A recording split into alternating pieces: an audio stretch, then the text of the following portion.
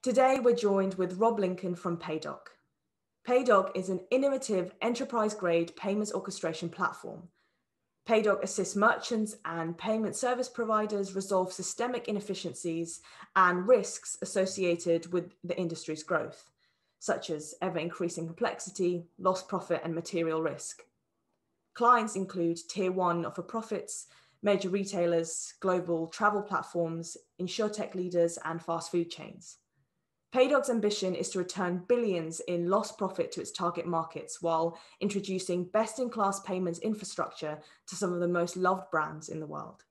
Hi, thank you so much for joining us for this interview. I uh, just wanted to start by asking what is Paydock and what are the main ideas behind it? Hi, thank you. Thank you, Camilla. Thanks for having me. Uh, it's a pleasure to be here. Uh, in terms of your question, what is Paydock and what are the main ideas behind it? You know, Paydock is a platform that solves a lot of large problems faced not just by merchants, but also by banks and large financial service providers in a market that is, you know, just boiling at the moment. Every five minutes, there's a new fintech something, which, you know, as a consequence of that, certain challenges also enter the market. Mm-hmm. And so Paydock is a platform that solves a lot of these problems. We help merchants work better with banks and financial service providers, and we do it all through a single platform that you can load up in an afternoon. And so, you know, we're at a stage in the company where we're growing and serving some of the best, you know, and well-known not-for-profits in the world, large retailers and others, as they seek to navigate, you know, what's happening in fintech today, and you know how to better embrace their customers and take advantage of, you know, everything we read in the the Financial Times every five minutes. Yeah. Um, yeah, so you've talked a bit about the challenges. What are the main challenges that Paydock is solving? Yeah, so the big challenge that we solve is one where merchants have every five minutes a new payment something that they have to connect to. You know, there's there's Stripe, there's Adyen, there's Checkout.com, there's Afterpay, there's ClearPay, there's Affirm, there's Klarna, there's you know e-wallets, there's Apple Pay, there's there's Alipay. You know, I could go on for hours list, listing off names. Mm-hmm. And what we hear it from from merchants is that they just don't know where to start. They can't tell the difference anymore the market's moving too fast and and what are they going to do and so paydock's kind of like an amazon for payments and, and this is a problem that you know paydock or someone else you know we're all here to solve it. Mm-hmm. Is how do we help merchants embrace all these payment services in a, in a way that is easy for them easy for their tech team doesn't cost too much mm-hmm. they can plug on new things remove things you know without uh, a lot of cost and so what we hear from the market is that merchants say well that's great you know Stripe was was great for a while, but now we see that there's this cheaper vendor over here and there's this alternative payment method over here. And, and how do we take advantage of, of all this?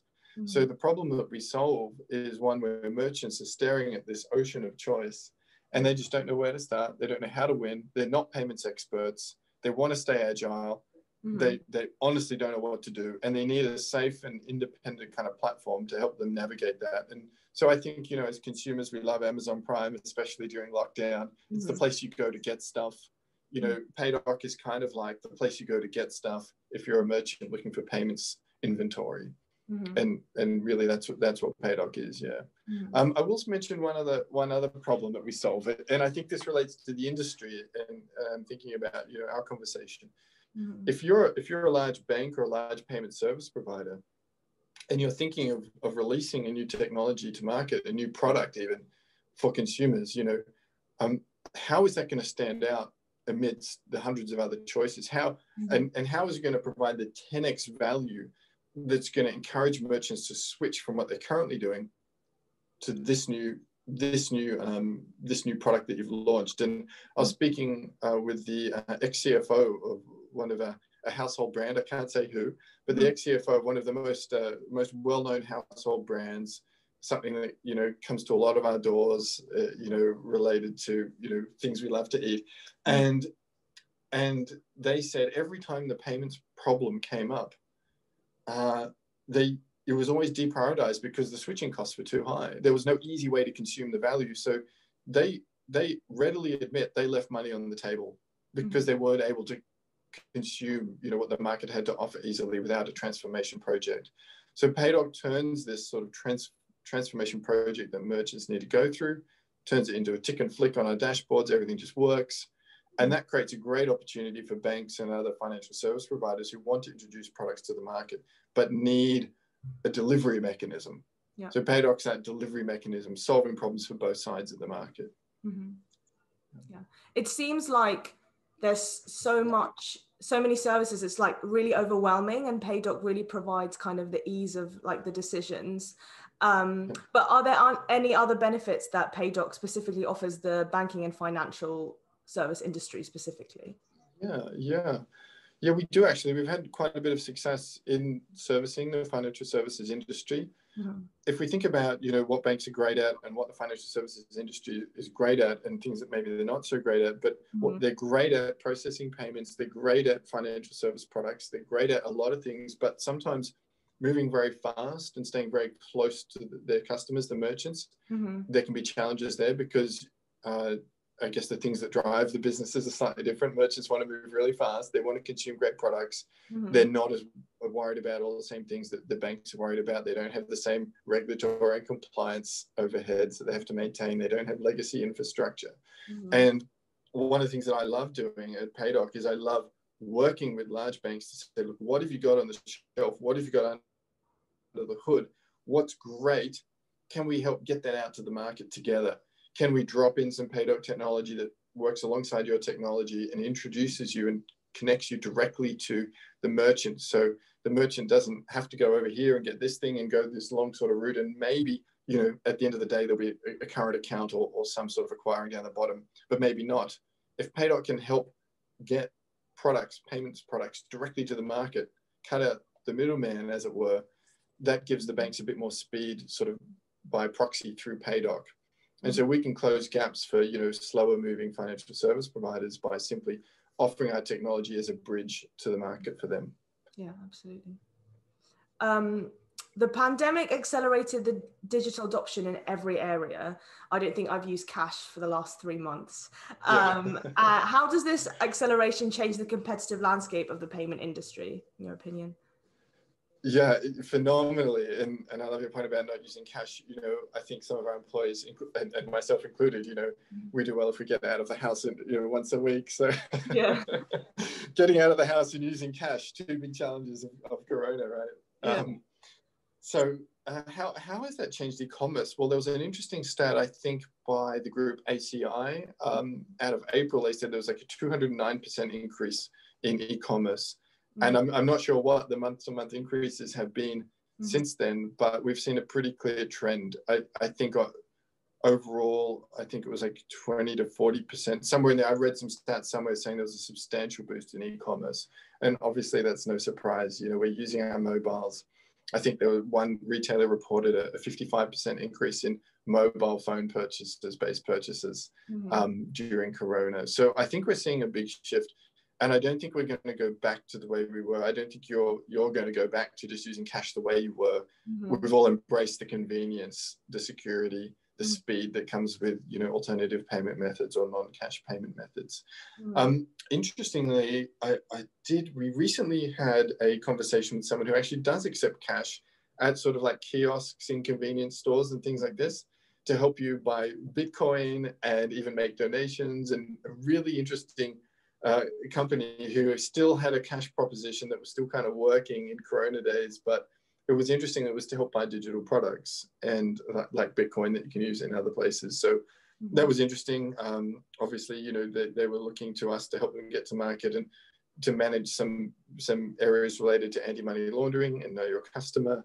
And Paydock can sort of even augment value propositions related to cash. But mm-hmm. you're 100% right. You know, cash is, you know, on the out, mm-hmm. digital payments are on the in. And the faster that we all accept that and we get on board with that, I think, you know, the more interesting it's going to be for merchants, the more interesting it's going to be for consumers because, you know, merchants want to accept digital payments with as little cost, as little friction as possible, mm-hmm. and consumers want the convenience. And, and ideally, we'd wrap it up with some loyalty mm-hmm. some other things so that I knew that if I was u- using a particular payment method online mm-hmm. in different merchants, somehow there was it was aggregating some kind of loyalty or incentives for me. I would love that. right now it's just about the speed and security of the transaction. Mm-hmm. But I think, you know, next generation is going to be more about loyalty and incentives and, and what can we do? What can we do next? Mm-hmm. And so even while I think a lot of banks are looking at, well, how do we get new stuff to the market? A lot of us are looking at, well, cool, you know, let transactions taken care of. What's next? What's the next big thing in payments? Um, so, you know, what's version three? What's version four of fintech look like? Uh, what's in store for Paydock? What themes do you see emerging in 2021? Yeah, absolutely. Look, what's in store for Paydock? I think as the market realizes that, whoa, there's hundreds of things out there. Mm-hmm. What are we going to do? Like, you know, it's like Amazon. There's so much out there how can I how can I access them? It's just too hard. It's too confusing. I've thrown up my hands. You know, as the market begins to realize that's the status quo, as the market by market I mean merchants. Mm-hmm. Um, I think Paydock's in for a very exciting you know few years in helping sort of consolidate and simplify the way merchants take and manage payments. Ultimately, it's going to mean that you know consumers have more options faster. It's mm-hmm. going to mean that large financial services and banks have a way to get to the market quicker, which ultimately gets you know through merchants to consumers. So the consumers ultimately going to be benefiting from Paydock's accelerated growth over the next few years. Mm-hmm. But I hope it, it's not just you know a slightly more convenient or loyalty related experience for the consumer. I hope it's great businesses that grow up, you know, benefiting from our technology. Mm-hmm. Uh, banks can capitalize and, and existing FIs can capitalize on what's happening in the market without having to spin up new tech teams internally, you know, which extends roadmaps to three to five years. You know, Paydock can compress those to three months. Mm-hmm. So we, we, we hope we want to bring the future forward. We want to bring the future of fintech forward. Mm-hmm. So I think what's ahead of us is just a lot more of what we're currently doing, which is helping, you know, wire together complex and fragmented payment systems into a very simple outcome for both merchants and you know the industry. Mm-hmm. So more traction. You're going to see more of us in the news um, we're going to see more great fintech hitting the streets, and hopefully, you know, we're going to see you know more people busking or, or whatever it is they're doing, mm-hmm. able to accept payments no matter where they are.